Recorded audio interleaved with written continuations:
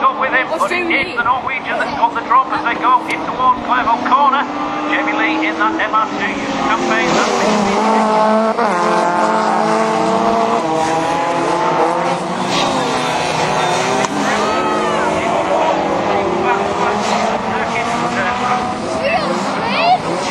Uh, down there at uh, Hall Corner.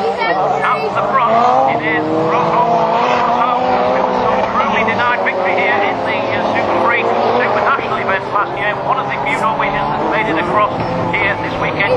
Lee in that second position. It looks as though the Corsa is there in third position. Missing the uh, front fender is Andy Lee as Mike Bolt goes through in the Audi TT in third position. Dazza Wilson there in fourth. And bringing up the rear is the number 319 Vauxhall Astra of Stuart Cauldron. But Jamie Lee is starting to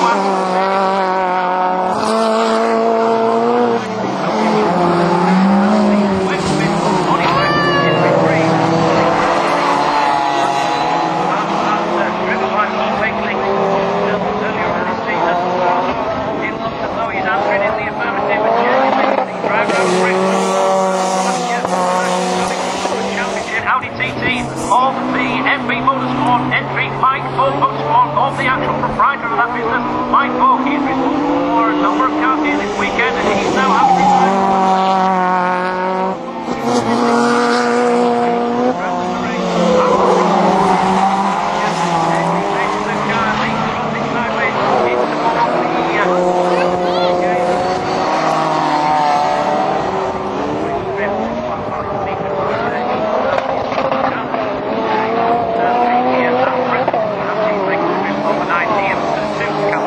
looks as though he's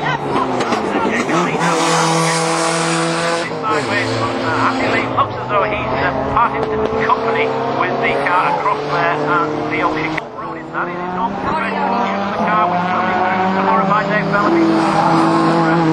Friend of the, uh, that's the owner of the KB on the concern is Darren. He's there in that position.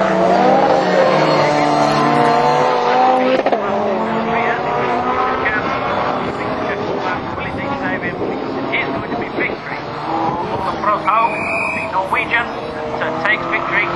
Lee, an impressive performance from the Wrexham driver in that second position. Then he's going to be Mike Boak in third position in the Kumho Tire Audi TT. Darren Wilson's going to come